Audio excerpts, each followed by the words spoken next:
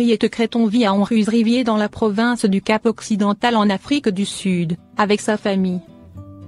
Cette dernière compte une adorable chienne appelée Lucie. Les Crétons habitent tout près du bord de mer. Leur ami à quatre pattes profite ainsi fréquemment d'agréables sorties sur la plage. Où elle s'adonne à son activité préférée, jouer avec sa balle de tennis. Le 4 mars dernier, Lucie et ses maîtres se sont rendus, comme à leur habitude. Sur cette portion de la baie de la table pour y passer un moment de détente et de jeu.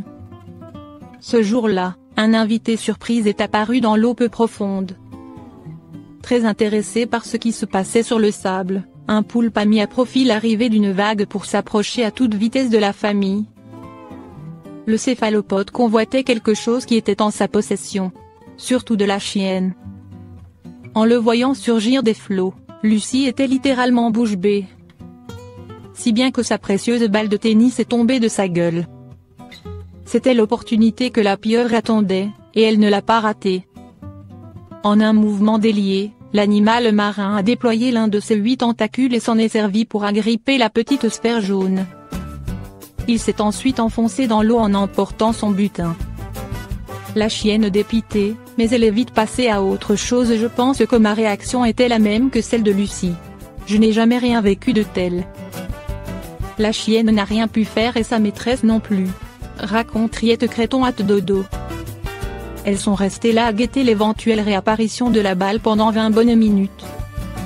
Un objet flottant était censé refaire surface à un moment ou un autre. Mais il avait totalement disparu dans les profondeurs avec le poulpe.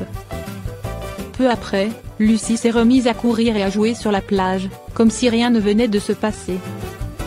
Le lendemain matin, elle et ses propriétaires sont revenus sur les lieux avec une balle neuve. L'épisode de la veille ne suscitait plus que des sourires. La chienne l'a assurément gardé dans un coin de la tête, mais il ne l'a pas empêché de continuer de faire ce qu'elle aime le plus.